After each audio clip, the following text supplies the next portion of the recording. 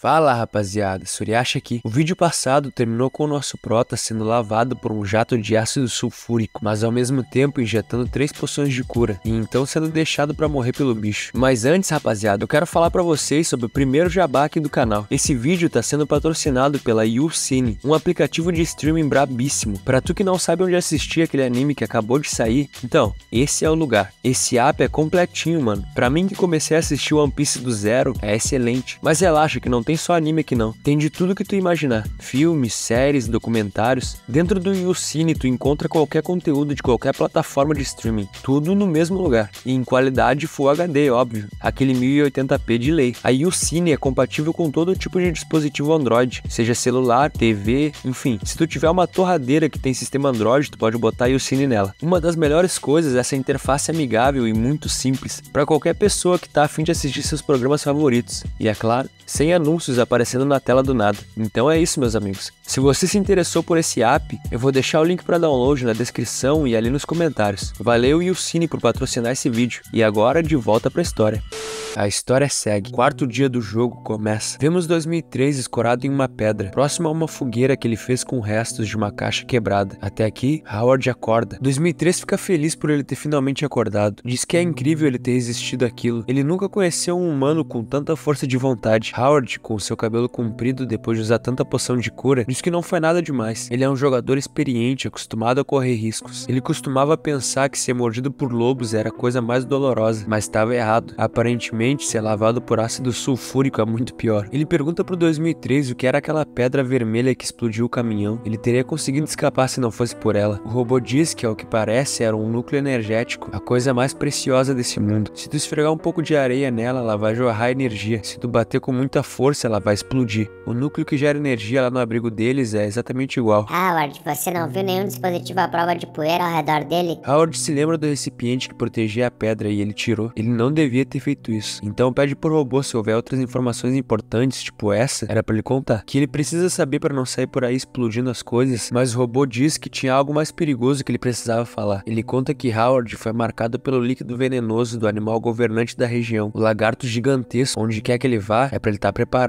para se deparar com ataques inesperados. Howard nota que de fato a parte da pele que tomou o ácido mais intensamente tinha ficado corroída. O seu braço esquerdo tá dormente como se ele tivesse dormido em cima. De agora em diante, ele ia ter que arremessar as coisas com o outro braço. Ele fala pro robô que tá sendo caçado na vida real e agora no jogo também. Bom, pelo menos ele se acostumou já. Então pergunta pro 2003 sobre aquela caixa com os ovos que ele tinha se agarrado. O que aconteceu com ela? E 2003 diz que eles estão bem. Ele tá monitorando a temperatura e os ovos estão chocando. Então ele se abre e de dentro dele saem os ovos. Howard pergunta se no abrigo as pessoas criavam galinhas. E o robô responde que sim. Não só galinhas, mas patos, gansos, porcos. Ele sente falta deles. Era possível ver rebanhos de ovelhas e vacas em montanhas e vales. Howard disse que quando ele era pequeno costumavam criar aves na casa dele. Quando ele ouvia galos cantando, sabia que estava perto de casa e ficava feliz. Mas depois que cresceu, só ouvia corvos por ali. E tudo que ele sente agora quando se aproxima da sua casa é medo. O robô diz que é estranho. Medo e felicidade são praticamente opostos. Não entende como ele pode sentir essas duas coisas ao mesmo tempo quando pensa na sua casa. Howard fala que tem uma mistura de sentimentos quando se trata da sua família. Ele gostaria de poder ir para casa e dizer pro pai dele que ele tá envelhecendo e não precisa mais trabalhar de pedreiro, poder dizer para ele que tá rico e que pagou a dívida da família deles, poder dizer para ele só ficar em casa aproveitando a sua vida. Gostaria de poder dizer para a mãe dele não se culpar, não é a culpa dela as dívidas da família, que ele nunca se ressentiu com eles por isso, que ele tem uma namorada e vai começar uma nova família e que agora ela poderia descansar. Ele não pode fazer nada disso. Depois que a família dele se endividou, os pais dele se culparam por cada coisa ruim que acontecia. O próprio ato de tentar acalmá-los faz eles se sentirem mais culpados. Howard diz que de tudo que ele já passou, que dá mais medo nele é que os pais abram a porta do pronto-socorro e vejam ele todo estrunchado na cama, naquela situação. Pensar nisso é como enfiar uma faca afiada no seu coração. Os dois ficam em silêncio por um tempo, até que o robô pergunta se ele quer um abraço. Ele diz que não sabe o que os abraços podem fazer, mas as crianças no abrigo, quando estavam tristes, sempre iam abraçar ele. Howard fala que não é uma criança, é um homem adulto e resiliente. Mas que se foda. A melhor parte desse jogo é que não tem fofoqueiros jogadores que ficam apontando o dedo. Ele acabou de contar um segredo que escondeu nas profundezas do coração dele pro robô. Na vida real, ele teria ficado envergonhado e humilhado se alguém mais tivesse ouvido isso. No mundo real, as pessoas estão engolindo a dor. Todas elas precisam de um abraço. Um tempo passa e Howard pergunta ao 2003 se os ovos podem chocar dentro dele. O robô diz que sim, mas mas é para ele colocar areia para evitar que os ovos quebrem quando ele estiver andando. Enquanto isso, nosso prota percebe um arranhão sinistro na parte de trás do robô e que também o ferro que ele tinha soldado nele sumiu. Então pergunta para ele o que aconteceu. 2003 leva ele até o lado de fora da caverna e mostra. Foram os carniceiros que fizeram isso. Eles foram atraídos quando você estava em coma. Eu não tive escolha não se apagar as chamas para combatê-los. Eu os desafiei, mas perdi o escudo de ferro. Howard agradece ele por isso. Parece ter sido uma luta feroz, mas 2003 diz que quem deve agradecer é ele. Ele não consegue acreditar no que aconteceu. Há alguns dias, o seu maior desejo era ver os humanos novamente. Howard tinha não só consertado ele, mas também planejava reconstruir o abrigo. Mesmo que eles tenham encontrado muitos problemas, ele ainda tinha esperança. Os humanos são mentirosos. Eles disseram que voltariam, mas não voltaram. Eles disseram que não salvariam ninguém novamente, e eles me salvaram. Howard fica sem palavras. Ele diz pro robô que o que ele vai falar agora pode parecer estranho para um NPC, mas ainda assim ele quer se expressar. Então diz que os dois já passaram por muitos momentos de vida ou morte. 2003 pode vê-lo como sua família. Família? Eu nunca tive uma família. Howard toca no robô para ele parar de falar. Aparentemente tinha algo próximo deles. Era um gorila verde gigante, aquele mesmo que lutou com Howard no primeiro dia desse jogo. 2003 diz que esses macacos gigantes são atraídos por som. Ele provavelmente foi atraído pela explosão. Howard acha estranho mais um monstro do nível governante nessa região. Pergunta pro robô o que aconteceria se os dois se encontrassem, e o robô diz que a porrada ia rolar solto. Nosso prota diz que é uma boa estratégia para pegar os dois de uma vez só, mas eles precisam ter cuidado. Então pergunta se tem um núcleo de energia igual aquele vermelho no abrigo deles. 2003 diz que sim. O núcleo de energia no abrigo é enorme, é tão poderoso quanto uma arma nuclear. Howard, com seu cabelinho de Kurt Cobain, diz que eles vão fazer um plano para resolver todos os problemas de uma vez. Um tempo se passa e eles estão de volta ao abrigo, porém, águias mutantes sobrevoavam o lugar. Howard percebe que tinha uma delas caída morta bem na entrada do abrigo. Quando se aproxima da entrada, ele vê que não é só isso, mas o ninho que tinha em cima do abrigo também estava pegando fogo. Nessa hora, uma flecha vem voando do nada. Ela atinge a parede ao lado do nosso prota,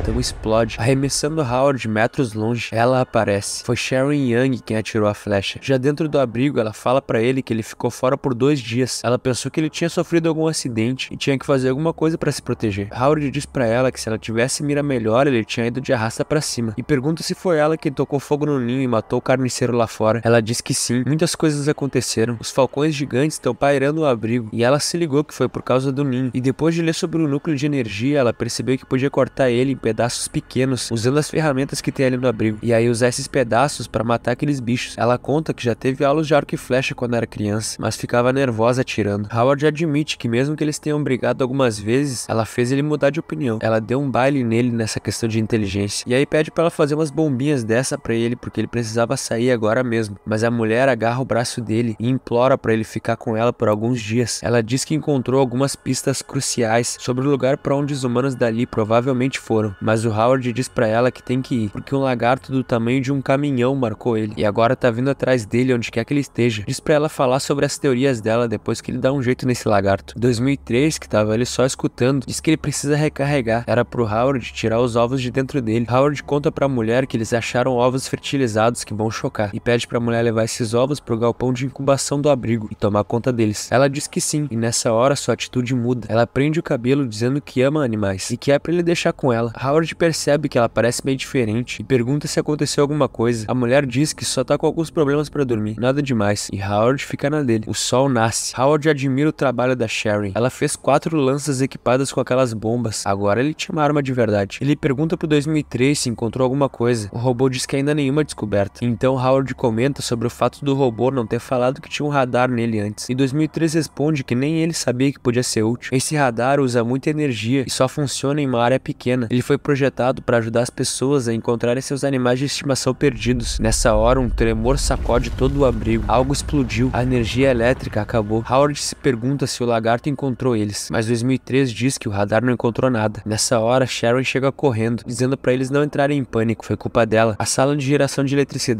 deu um vazamento de energia. Ela não fez nada de errado. Do nada, simplesmente deu pau em alguma coisa. 2003, na hora se lembra dos ovos. Eles vão azedar sem eletricidade, mas na hora que eles vão salvar os ovos, percebe que o caminho foi bloqueado na explosão. Eles precisavam tirar essas coisas da frente. Um tempo se passa e eles tinham conseguido entrar na sala onde estavam os ovos. Porém, só um deles estava com a luzinha verde. Sharon entra correndo dizendo que o sistema de energia elétrica foi consertado. Pergunta como estão os ovos. Howard conta para ela que apenas um deles pode chocar ainda. Os outros sete foram foram de americanas. Ela pede desculpa e promete não mexer com o núcleo de energia de novo. 2003 olha atentamente pro único ovo restante. Howard percebe a preocupação do robô com o ovo e então diz para ele levar esse último ovo com ele. Sharon vê isso e diz para esperar. Só tem mais um ovo. É arriscado deixar ele com um robô. Foi só um pequeno acidente. Ela jura que vai cuidar bem desse ovo. É só colocar ele de volta na incubadora. Howard fala para ela que se ela realmente ama os animais, ele vai dar mais para ela no futuro. Mas quanto ao último ovo, ele vai ficar melhor nas mãos do 2003, porque para ele não é só um ovo, é esperança. A mulher chega a ranger os dentes e dessa vez ela não se aguenta. Ela grita dizendo que os robôs são fabricados por humanos. Eles não têm emoção. Quando que ele vai parar com esse jogo ridículo? Ele não acha esquisito desenvolver laços emocionais com o robô? Howard diz que é uma pena. Ele realmente pensou que eles finalmente tinham algo em comum. Não brigue com ela, Howard. O radar de 2003 dispara. O lagarto gigante estava próximo do abrigo. Ele avisa Howard na hora, que diz para ele ficar no abrigo. Se ele sair, o ovo pode quebrar. Não, você é minha família.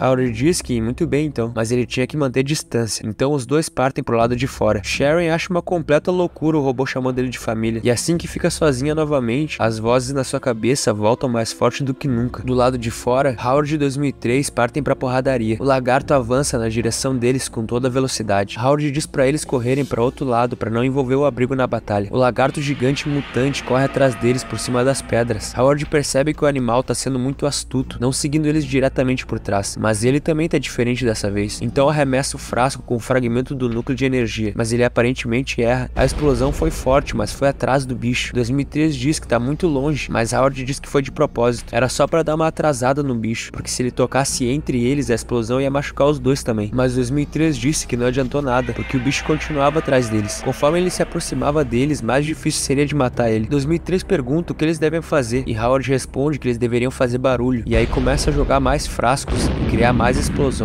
Ao longe, um carniceiro parece ter percebido uma movimentação rolando. O oceano corrosivo estava bem na frente deles. O lagarto gigante estava se aproximando. Howard diz que ele ainda tem uma granada, era seu último recurso. Ele fala pro robô seguir em frente, mas nessa hora, os dois são obrigados a parar. O gorila verde gigante, caolho, tinha aparecido e estava bem diante deles. Howard parece não ter medo e diz que ele tá atrasado. Nas suas costas, o lagarto gigante se juntava à festa. Nosso prota e o robô estavam cercados. Howard diz pro robô olhar para a montanha à direita deles. Ela estava seca e parecia frágil. Ele diz para ele acompanhá-lo. Os dois animais rugem ao mesmo tempo que Howard atira sua lança, dizendo pro robô correr. A explosão cria uma cratera na parede da montanha, por onde os dois entram no momento em que os animais gigantes começam a cair na porrada. Nosso prota e o robô se escondem na cratera, mas Howard sabe que é muito perigoso. Ela pode desabar a qualquer momento. O King Kong joga o Godzilla para longe, mas o animal se levanta já inflando suas pústulas verdes. O macaco não deixa ele carregar sua skill e já dá uma porrada na cabeça do lagarto e continua batendo nele sem dó. Parecia que ele ia vencer, mas nessa hora, dois jatos de ácido sulfúrico são lançados. Howard fica em choque ao perceber que os jatos foram direto na boca aberta do gorila. Ele se joga para trás e começa a literalmente vomitar ácido sulfúrico, então sai correndo, aparentemente aceitando a derrota. Nosso prota aproveita a distração do Godzilla e atira uma lança explosiva na cara dele. Na hora de jogar a segunda, a sua mão, que estava danificada pelo ácido, dá uma fraquejada e ele acaba jogando mal a sua lança, mas instintivamente, Howard puxa uma próxima lança e ativa sua skill de arremesso na capacidade máxima. Ele joga sua lança equipada com um fragmento do núcleo de energia. O objeto corta o ar rapidamente e atinge com tudo a outra lança. Porém, o impacto foi perfeitamente calculado por Howard para que a lança anterior corrigisse sua rota e fosse parar diretamente dentro da boca do lagarto. O animal para por um segundo para entender o que aconteceu, mas a sua cabeça explode com violência, se espatifando completamente e soltando aquelas pústulas para todo lado. 2003 dá parabéns ao seu amigo pelo belo arremesso. Ele acabou de derrotar a besta governante da região. Howard agradece. Ele poderia ser um grande jogador de basquete. Ele diz que realmente esse arremesso foi pica, mas nessa hora 2003 sente algo estranho. O ovo dentro dele estava se rachando, ia chocar a qualquer momento, mas ao mesmo tempo o clima começava a se fechar. Muito vento e raios começaram do nada. Howard pergunta pro robô o que estava acontecendo com o tempo. Tinha alguma coisa errada. 2003 diz para ele que esse é o tufão que acontecia uma vez por ano. Nas próximas 48 horas vai ter chuva intensa e tempestade de areia e que eles tinham mais ou menos 10 minutos até começar. Howard fala que nem o Zayn Bolt conseguiria chegar tão rápido no abrigo e sugere abrir uma caverna usando o último fragmento do núcleo que ele tinha. Mas nessa hora ele começa a ouvir um som parecido com um bip. Ele pergunta pro 2003 se ele tá escutando isso também, mas o vento já estava muito forte. Sem falar que dentro dele o ovo de galinha estava chocando nesse exato momento. Nosso robô tá encantado com isso. Ele achava que nunca mais ia ver uma galinha viva, mas Howard continua escutando escutando o bip, cada vez mais alto, mesmo com o som do vento. Tem alguma coisa errada, é como um som de perigo. Ele sabe que já ouviu isso antes. É claro, é o som de uma bomba, é uma bomba de tic-tac. Automaticamente ele olha para o corpo morto do lagarto Sim, era dali que vinha o som, mas já era tarde demais. O som havia chegado no seu final. A única coisa que o nosso prota consegue fazer é empurrar o 2003 para longe. Do animal explode, jogando pedaços de carne, ossos e ácido para todo lado. Howard é lançado contra uma parede de pedra, completamente banhado pelo ácido sulfúrico. Seu olho direito é completamente corroído dessa vez. Ele grita sentindo uma dor insuportável. Um bando de carniceiros é atraído pela explosão. Howard consegue injetar em si mesmo três poções de cura, o que faz ele recuperar força suficiente para ficar de pé. Da sua bolsa rasgada cai o frasco com o último fragmento do núcleo que ele tinha, e ele percebe isso. Os carniceiros agora já estavam praticamente em cima dele. Ele precisava agir rápido, então ele chuta o fragmento da melhor maneira que pode. O frasco bate com tudo na parede, se quebrando e criando mais uma explosão que arremessa o nosso prota para longe. Hoje ele tá apanhando, rapaziada, mas calma que ainda tem mais. O que ele tentou fazer, de certa forma, deu certo. Ele conseguiu criar uma abertura para a caverna dentro da montanha. Se ele conseguisse chegar até lá, ele tinha uma chance de se salvar. Então ele usa suas últimas forças para ficar de pé, mas rapidamente uma águia mutante o ataca com as suas garras extremamente afiadas. Outra águia o atinge quase que instantaneamente depois da outra, deixando nosso prota no chão, todo rasgado, cheio de cortes profundos e todo corroído de ácido. Ele vê mais um carniceiro vindo na sua direção a toda velocidade e entende que fez merda. Ele deveria ter sido mais mais esperto nesse jogo e agora vai pagar o preço por isso. O carniceiro vem com suas garras extremamente afiadas para dar o golpe final, mas no último segundo, 2003 consegue puxar Howard para longe, dizendo para ele aguentar firme. Ele dá mais uma injeção daquela poção de cura nele, enquanto Howard diz que ele deveria ter ficado longe. 2003 não responde, simplesmente arrasta ele o mais rápido que pode para dentro da caverna e então começa a tentar fechá-la. Howard diz para ele esquecer isso. Ele nem conseguia mais sentir o próprio corpo, mesmo que ele não morra agora, ele vai ser um completo peso morto. Ele jogou mal e agora o jogo tinha acabado para ele. Mas 2003 diz que ele vai sobreviver. Ele ia cuidar dele. Dentro do robô, um pintinho já andava de um lado para o outro. 2003 tinha conseguido fechar a entrada da caverna. Eles estavam aparentemente seguros por enquanto. Howard, que ainda estava sendo corroído pelo ácido, diz que 2003 deveria ir embora. Esse jogo tem uma história de fundo maravilhosa. Ele fica feliz em poder deixar ele com uma pequena galinha para sobreviver. Agradece a Deus por poder deixar uma esperança para ele. Não vou a lugar nenhum. Você é minha família. Nosso prota diz pro robô parar de ler o roteiro programado nele. O jogo acabou. Ele havia tentado o seu melhor, mas perdeu. Qualquer tentativa de prolongar isso seria puro sofrimento. As aves não estão interessadas em um pedaço de metal. Então ele conseguiria sair dali com a galinha, mas ele mesmo já estava condenado. Agora ele ia acordar no mundo real e encarar o seu destino. Nessa hora, um bico gigante atravessa a entrada da caverna. Os carniceiros estavam tentando invadir. 2003 se coloca na frente, dizendo que pode oferecer para ele segurança. Ele diz que pode oferecer lealdade, diz que pode oferecer calor, pode oferecer luz, cura para tudo. Howard percebe que o robô está dizendo as palavras que ele disse naquela vez. Um bico gigante atravessa o corpo do robô 2003. Howard assiste a cena sem poder fazer nada. 2003 tinha um buraco imenso bem no meio do seu corpo. E o pior, a pequena galinha, que era a esperança dele, tinha sido morta. Mas o robô continua sem desistir. Ele continua usando seu corpo para proteger a entrada da caverna. Ele implora para que Howard não morra. Diz que pode oferecer para ele um lugar mais limpo do que o paraíso. E então, o bico atravessa sua cabeça, lançando longe o visor de 2003. As bicadas continuavam. O corpo do robô estava sendo completamente perfurado. Howard aos poucos perde a consciência. A última coisa que ele vê antes de desmaiar é o corpo corpo de 2003 todo destruído, mas ainda assim de pé, tapando a entrada da caverna. O sexto dia de jogo começa. Sim, meus amigos, a gente está apenas no sexto dia de jogo e o nosso prota já praticamente morreu umas três vezes, porém ele continua vivo. Nós vemos 2003 caindo aos pedaços, arrastando o corpo dele por um deserto, cobertos por uma neblina. Howard recobra consciência e pergunta se esse é o fim do mundo. O robô, todo detonado, fala que esse é o mundo depois de uma tempestade de areia. A tempestade assustou os carniceiros e ele conseguiu sobreviver. O radar dele ainda tá funcionando.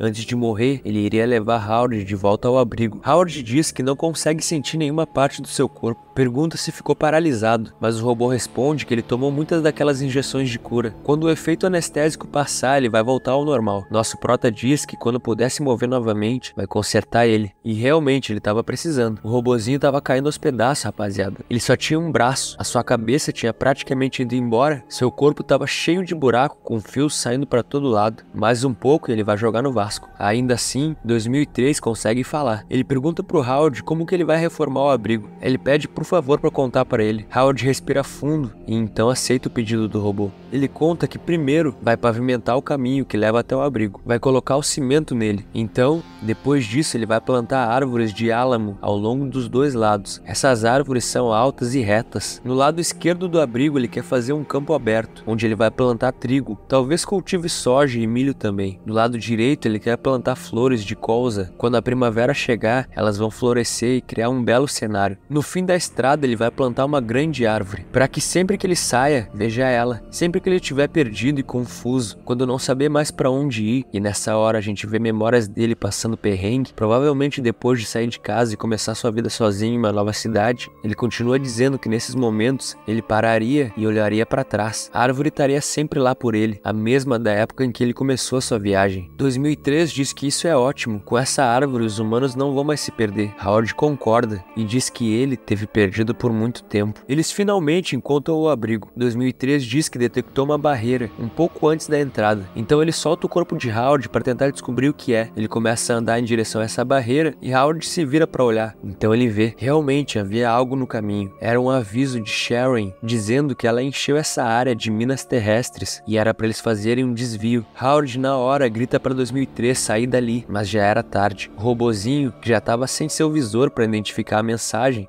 explode violentamente. Howard novamente é jogado longe. Ele tenta se levantar, mas estava muito fraco. As peças do robô voam para todo lado. O disco escrito 2003 cai bem diante de Howard, que se pergunta o porquê. Por que o mundo tinha que ser tão cruel com ele? Ele estica sua mão para tocar no disco, mas nessa hora, uma outra mão agarra o objeto. Sharon Young, com os olhos arregalados, puxa o disco de metal da mão do nosso prota. Ele fica enfurecido, mas não podia fazer nada, a não ser assistir a mulher correr para longe, enquanto perdia a consciência mais uma vez. A história segue e agora nós estamos no oitavo dia de jogo. Nosso prota ficou apagado por dois dias. Ele acorda subitamente em um quarto, com água e carne seca esperando por ele. Como o maluco tá sem comer e nem beber nada por uns quatro dias seguidos, ele vai direto tomar água sem nem pensar muito. Mas logo ele se lembra do que tinha acontecido. Sharon Young. Na mesma hora ele começa a gritar o nome dela. Ele sai do quarto chamando por ela, falando para ela aparecer, perguntando por que ela tá contra ele e exigindo uma explicação. Enquanto isso, nós vemos Sharon nervosa, com uma parafusadeira na mão. Howard a encontra, mas antes que ele dissesse qualquer coisa. Reiniciando.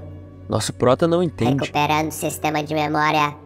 2003, novinho em folha, estava bem diante dele, não só com os dois braços agora, mas com duas rodas também. O robô recupera sua memória e pergunta o que aconteceu. Ele foi consertado? Howard se pergunta como isso é possível. Então Sharon responde que o anel metálico é o controlador central do robô. Desde que esse controlador esteja inteiro, o robô é reparável. 2003 fica impressionado pelo fato de que agora ele tem mãos e tá todo limpo. Todas as peças dele são novas, de dentro para fora. Além disso, ele ganhou uns upgrades, como um sistema de combate e o melhor, sistema de cozimento de arroz. Ele nem acredita que depois de tanto tempo ele se tornou um robô de elite. Howard também fica impressionado, perguntando para a mulher como ela fez isso, e ela responde que já tinha dito para ele antes que o robô poderia ser aperfeiçoado, mas ele simplesmente cagou para ela. Tem muitos corpos de robô na sala de manutenção para serem usados no 2003, mas ele ignorou ela para ficar com aquelas porcarias de ferro. Ela continua dizendo que ele não quer escutar nada que ela diz. É muito mais fácil descarregar a raiva nela. Howard não sabe o que dizer, até que diz para ela que ela falou que 2003 poderia ser destruído no processo de aperfeiçoamento. Ela começa a se irritar e diz que os testes científicos nunca garantem sucesso de nada. Isso é óbvio. Sempre existe uma pequena porcentagem das coisas não saírem como planejado. Pergunta quantos anos ele tem. Diz que ele não sabe o quão estúpido ele foi. Se ela não tivesse conseguido consertar o robô a tempo, ela teria sido morta por ele e não pelo apocalipse. Então ela respira e diz que eles precisam de uma conversa. Ela não aguenta mais isso. Então fala que como ele teve fora por dias, ela teve que tomar medidas para se proteger, mas colocou o aviso lá fora e mesmo assim ele pisou nas minas terrestres. Sempre que ela fala de ciência com ele, ele responde com um discurso bobo sobre os sentimentos e emoções. Quando ela quer elaborar um plano com ele, ele deixa ela sozinha e trabalha por conta própria. Tudo o que acontece de errado, ele sempre encontra desculpas para culpar ela, e ela realmente não sabe o que fez de tão errado para ele. Então as lágrimas começam a rolar pelo rosto dela, que diz que só quer sobreviver. Ela não é má. Howard pede desculpas, diz que não pensou muito sobre isso, mas a mulher vai embora chorando. Ela diz que a mera carga não vai atender às necessidades do robô